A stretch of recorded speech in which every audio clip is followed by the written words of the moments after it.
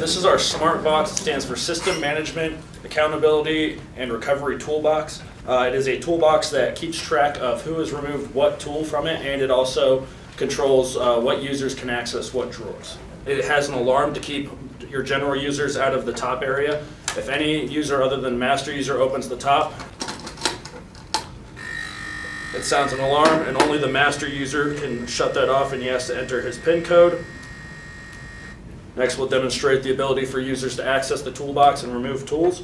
We'll enter a PIN code that allows access to the first drawer. That activates a solenoid that allows us to open the first drawer. We can remove a tool, and this tool will now be logged to the first user. And there is also an LED on the front indicating that the tool has been removed, and another LED indicating that the drawer is open.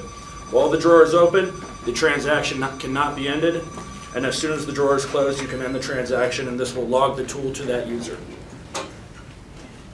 This user has access to the second and third drawers where they can remove a tool, but they do not have access to the first drawer. If a drawer is open when they try to enter it, there will be a tone played that signifies that they cannot end their transaction yet. You must close the drawer before that happens.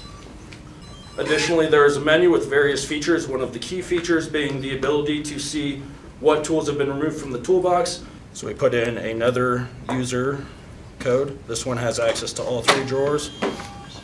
So open the first drawer, this user will remove the first tool, where a light will be indicated right here saying that the tool is missing. When it is pressed, that light is goes down. This lets the user know that they have successfully re-entered their tool. After the transaction ends, you can enter the menu again and check the tool status, and you will see that tool one has now been checked out to this new user.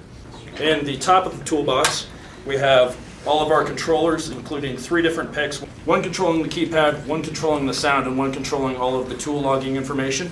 We also have an Arduino that controls all of the user information and assigns all of the user tools. Inside the drawers, we have photo interrupter sensors that keep track of our tools and plungers that activate them. We also have a solenoid, which drives a four-bar linkage that allows us to lock and unlock the drawers. When you move the drawer, looking through the top, you can see the linkage that controls and manages all the wires for the tool, tool drawer.